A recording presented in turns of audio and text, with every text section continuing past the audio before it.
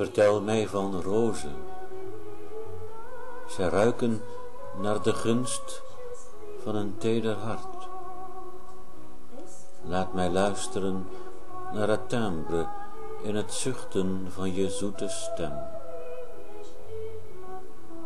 Ik voel je huid als warmte, gemodelleerd in een sterrengloed. Je heupen dragen de contouren van een laan vol vlinders. Niets ontgaat aan mijn ogen, zelfs niet de pas in een tred waarop naar mijn ziel wordt gezogen.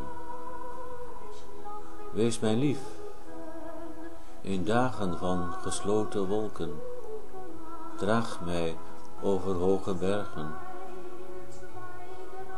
Ik zie jou in een droom met kleurrijke pauwenveren. Je lijkt zo nakend puur. Laat mij jou, hemelse verschijning, in alle toonaarden vereren.